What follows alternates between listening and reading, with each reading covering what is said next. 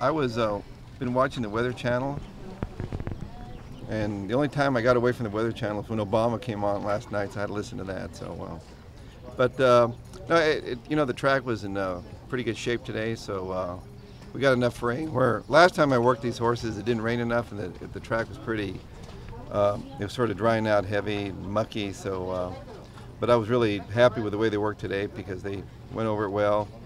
Uh, Midnight Interlude. He was, uh, you know, he's, he's been improving since I've been here every day, and um, he's enjoying. He's still green. He's learning how to run. Like I worked him with uh, his workmate.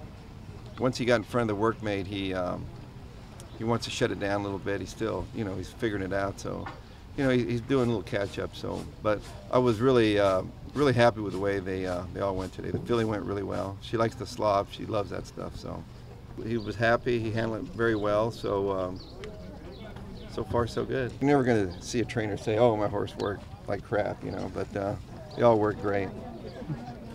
like Santa Anita Derby, when Comma to the Top just took off from him, he was completely lost for a while for a few jumps there, and Victor had to really get into him. Then all of a sudden he realized, you know, I, there's one more to, you know, I got to catch that horse. So he's learning. He's like, he's, you know, he's, he only has four or five days to learn that he's got to but believe me, he'll have plenty of targets.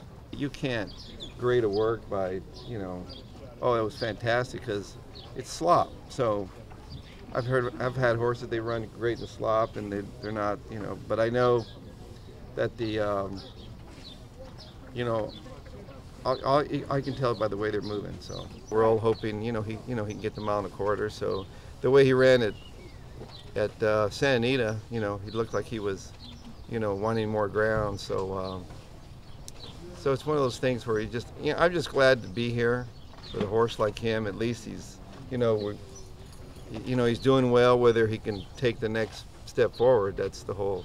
We'll find out uh, Saturday. But the thing is about it is that they're um, they're going to be. Uh, you know, they'll separate themselves when they come to the top of the stretch, and that's what you know. You can brag all you want, but at the end of the day, at the quarter pole, that's when they start separating themselves, which ones are good. So the ones that are, you know, you want a horse that's really doing well, that's thriving right now. And I, you know, I, I think he's thriving, but whether he's good enough, we'll find out.